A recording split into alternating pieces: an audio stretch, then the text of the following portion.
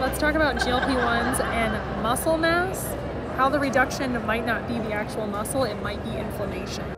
I'm at Obesity Week in Atlanta, Georgia, sharing all the latest in research that I'm hearing and seeing. So this is a joint session about muscle loss and GLP-1s. And this first person that talked was a doctor from Korea.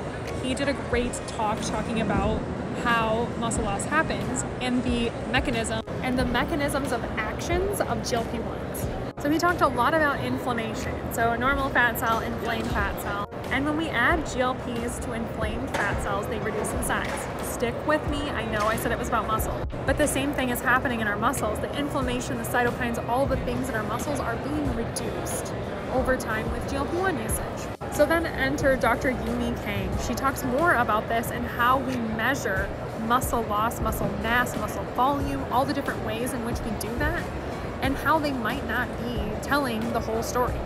So muscle mass can sometimes include bone, depending on how you define it. So she made a really clear definition that skeletal muscle mass is what we want to look at. Stick with me through these charts.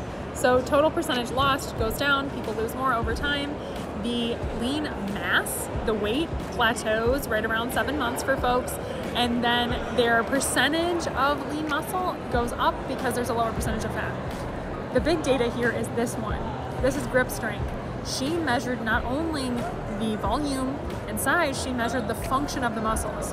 And the muscles got stronger, the grip strength got better over time, even though the mass went down. So this is really interesting research that I really enjoyed hearing. It is calling into question how we measure different things, what might actually be happening. We might think that muscle is being lost because the mass is being lost, but is functionality and strength being lost?